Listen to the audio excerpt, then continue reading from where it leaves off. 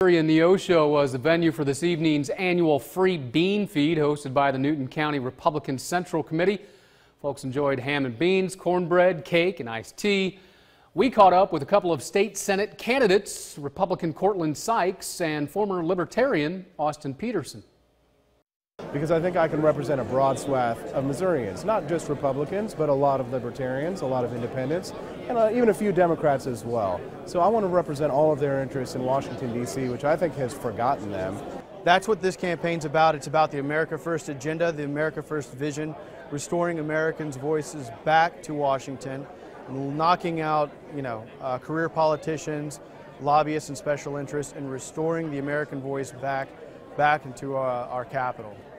Sykes lives in Independence, Petersen in Kansas City. By the way, kudos to the Neosho High School FFA kids who once again catered the event. Time now to talk